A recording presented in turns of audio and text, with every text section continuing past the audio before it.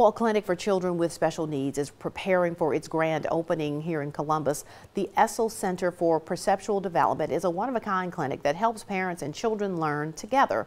Our Rosman Freeland talked to, Freeman, that is, talked to the doctor and owner about the clinic's demand. Many families are forced to travel many miles from home, even out of state, to get therapy or individualized treatment for their specialized for their special needs child. Now, pediatrician in Columbus is looking to help children within the community to reach their individual goals. It's hard to meet the needs of the entire Golden Triangle with one facility, and they're awesome, they're great. But in Columbus, I know we're having to refer children an hour or more away to get services, like going to Tupelo or Jackson.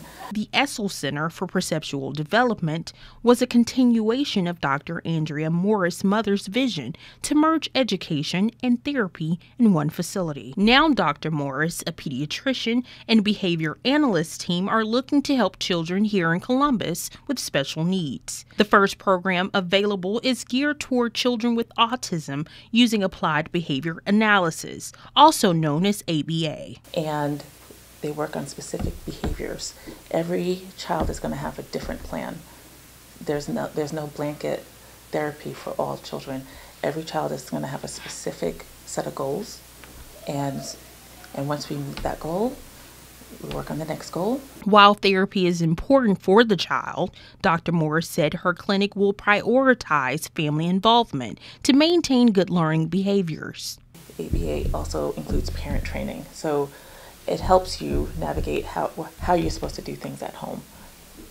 You know, helps you connect to your child in a different way helps you understand what the child is actually going through. Dr. Morris says if you want to know more about your child's stage in development, don't be afraid to consult qualified clinicians or other professionals. You know, you definitely want to connect with this either the school board or PCP and ask questions, what can you do next?